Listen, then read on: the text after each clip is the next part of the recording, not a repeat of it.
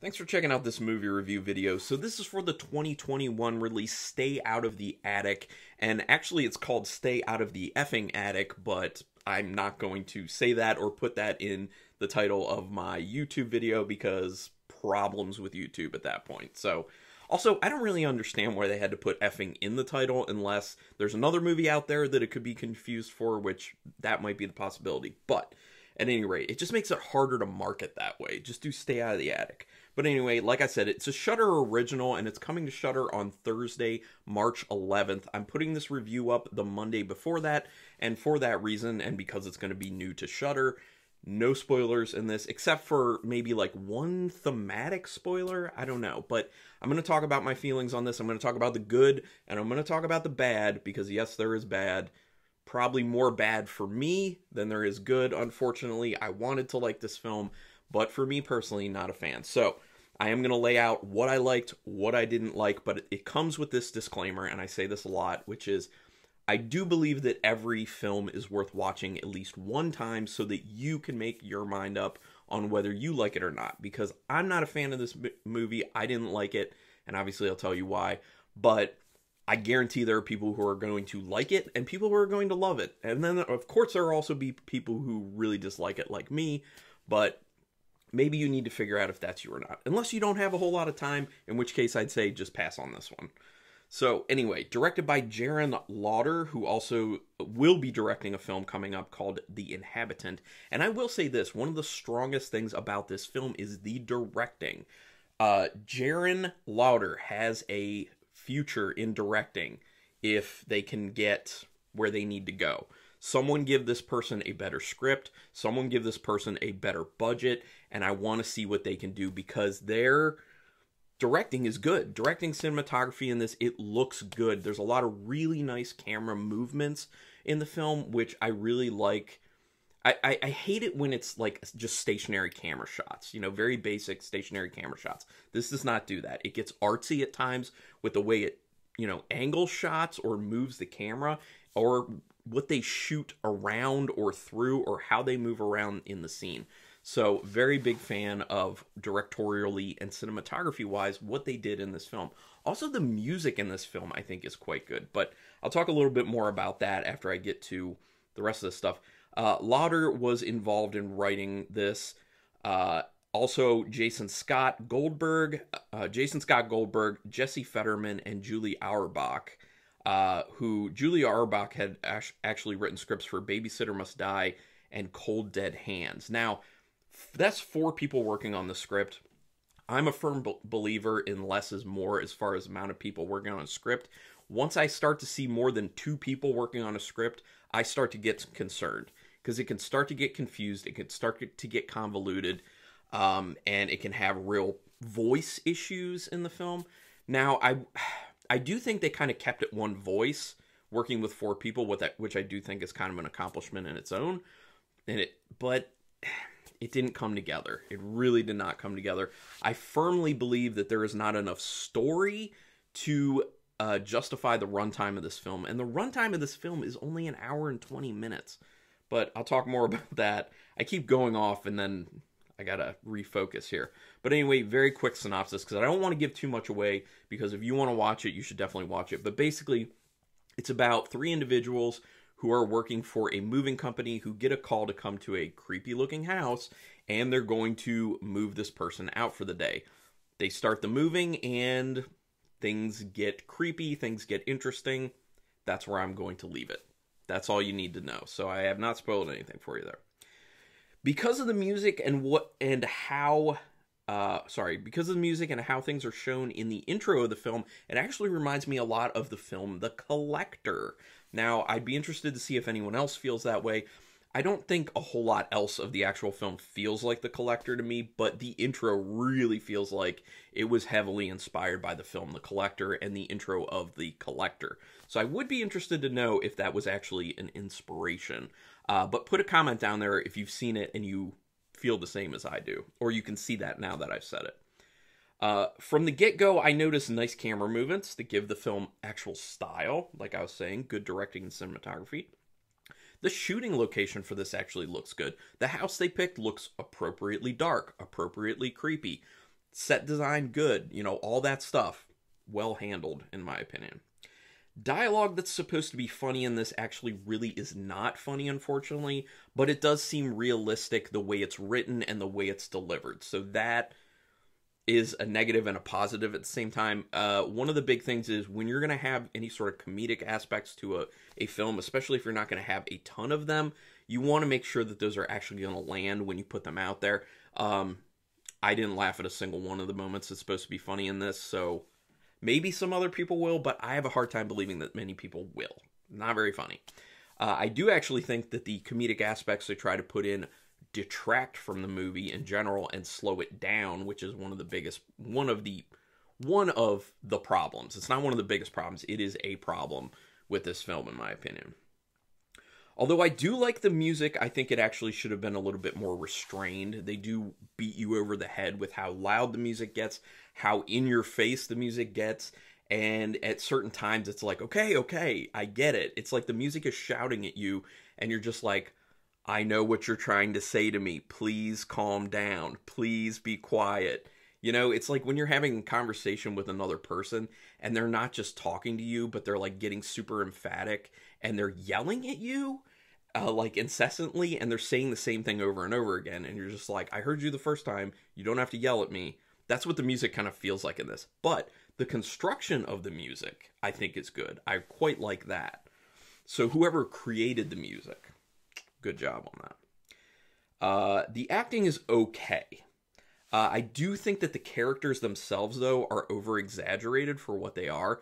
It's kind of like they take they take one aspect of each character basically, and then just make that the whole character. They're not very multi-dimensional, in my opinion, and they're exaggerated. I and they're all exaggerated, kind of on the same level. They all kind of act similar they don't they don't feel like very different characters to me. They feel like they were written very much the same, um, and that doesn't really work in the favor of really caring all that much. The film is kind of dark, but it actually is lit enough so you can see basically everything you need to see in the film, so that's good. There are plenty of times where filmmakers will not have nearly enough light when it's dark, and you're just like, what am I even looking at right now? What am I seeing? So, good job to them on actually lighting it pretty well. Uh, 30 minutes into this film is when things start to feel like they're actually going to get moving. Now, that sucks.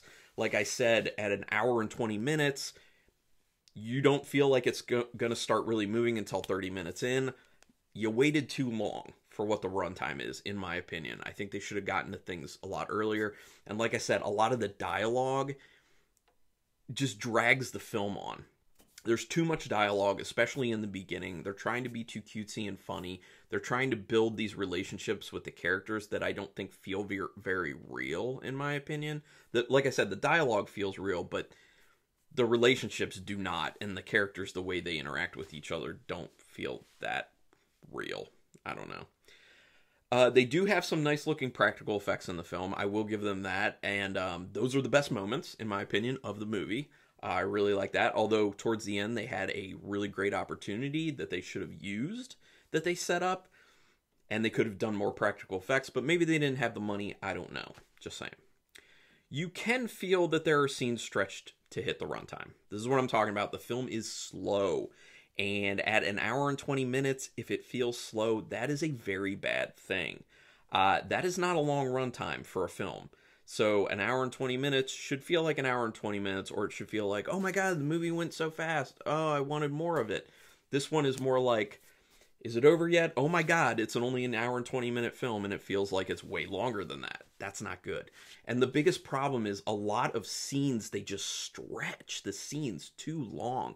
They really needed to take another pass at this, edit it down, make it a lot more succinct as a film and would have played better. I think like an hour runtime would have been more appropriate for this film. I really do think they could. Well, maybe maybe they couldn't have cut a full twenty minutes, but they could have cut probably at least a solid ten. Very easily could have cut ten minutes, maybe more, in my opinion.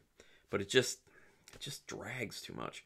A lot of the tension and dread ends up dissipating in this film because of those pacing issues and the intentionally drawn out scenes like I talked about because you can tell they're intentionally drawn out. You can tell they're trying to not make the film too brief. But I'm going to keep doing this, I'm going to refer back to the movie Host.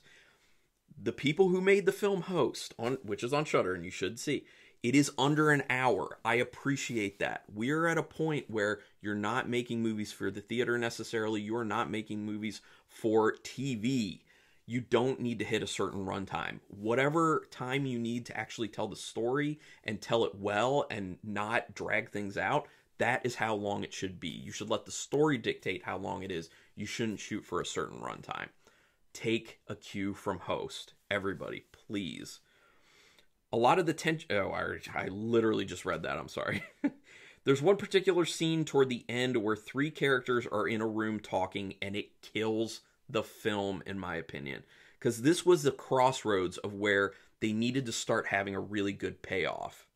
And you felt it coming, and then it didn't come. It was just a terrible tease that then gets drawn out into way too much dialogue that repeats the same thing over and over again that doesn't really go much of anywhere and it's tough. I it's not very entertaining.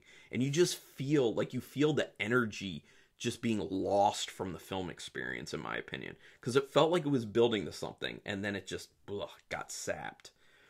The performances needed more in the scene in particular as well. Uh, I said the acting was okay, but in this scene, they needed more out of the actors. They really did.